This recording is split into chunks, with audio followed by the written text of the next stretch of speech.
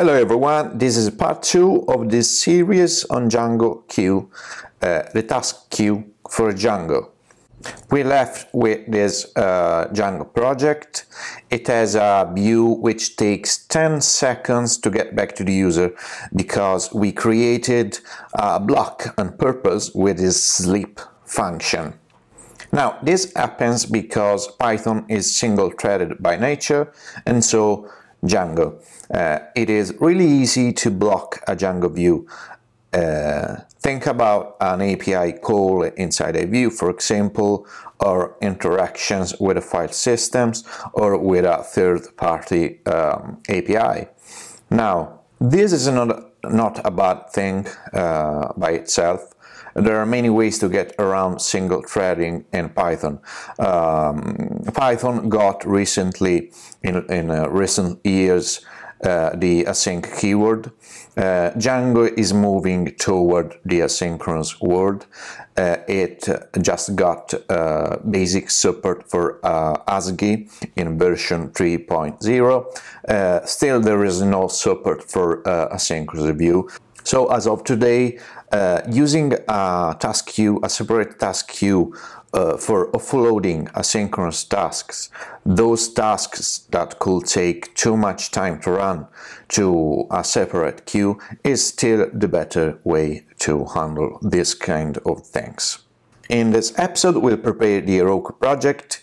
Uh, I'm using Heroku here because uh, it has the uh, free Redis add-on. Now, if you're new to Redis, it is an in-memory database, uh, can be used as a cache and as a message broker. Now, a message broker, you think about it, is just like a post office box. It takes messages, holds them in a queue, and folks around the city can retrieve messages later. Uh, Django Q uses a, um, is able to use to interact with a lot of brokers uh, in this tutorial we will use Redis. If you're interested in the architecture of Django Q, I've got this link in the description. Uh, in brief, Django Q uh, saves a reference of the asynchronous task uh, inside uh, Redis and later it can retrieve this reference for running that task. Um, okay, let's get to the console.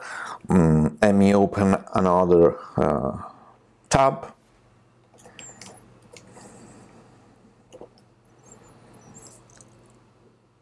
Go to the project folder. Uh, if you want, you can activate the uh, Python virtual environment and here I'm going to initialize a git repo. This is uh, needed by Heroku.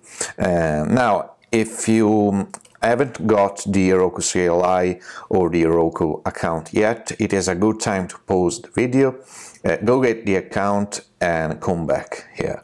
Otherwise, follow along with me. I'm going to create this new Heroku project. Uh, I want to use, I like to use the Europe region here. Now I'm going to add two uh, add-ons. Heroku Postgres, it is uh, of course a more robust solution than uh, SQLite for production. Uh, later, when, when we, you will deploy to production, uh, Postgres will be convenient. And also, let's add Heroku Redis. So make sure to be in the, in the project folder. Uh, now the application name is totally random. Give it a couple of minutes for activating the Heroku Redis uh, add-on. Heroku Postgres should be ready. Uh, you can run Heroku config and get back uh, the database URL. Here it is. Now, in the meantime, let's install Django Q, the actual task queue, and Redis. Now, uh, Django Q uses Redis, as I said. Uh, it needs uh, the Redis client anyway to run. Uh, oh, yes, I forgot. I missed install here. pip install Django Q Redis. Here we go. Uh, Django Q is in place, the Redis client too.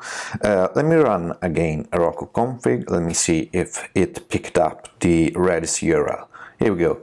Uh, you should see the, this database URL here and the Redis URL here. Now let's go inside the settings of this Django application. Uh, we will need to activate Django Q here in the list of the installed apps Django Q. Next up is still in the project configuration we're going to copy an example of configuration here from the uh, Django Q documentation. And this is the configuration for uh, the Django Q cluster. Uh, name should be the name of the project. So my project is called Django Q Django. There are a lot of configurations. Here you can take a look at documentation to learn more. We need to fill these keys with the uh, credential that we got from the uh, Heroku hand-on. Can run Heroku config. Now, keep in mind that this is just for development. Uh, don't never ever um, put this credential inside a GitHub repo or in a blog post. This is just for development. It is just for this tutorial. Now, um, in this Redis credential, I can see the host here. So let me copy over this to my configuration. Now, host needs to be filled with the uh, Redis host.heroku uh, gave to us. Then this is the password for the uh, Redis instance. We need another key here. It is password. Uh, next up, we need the port 263 now, one last step before moving on. Run the migrations because Django Q needs to apply its migrations and then launch this command python manage dot py q cluster and this will launch the uh, Django Q cluster if you don't have any error in this uh, passage, you're good to go for the next episode. See you in the next video.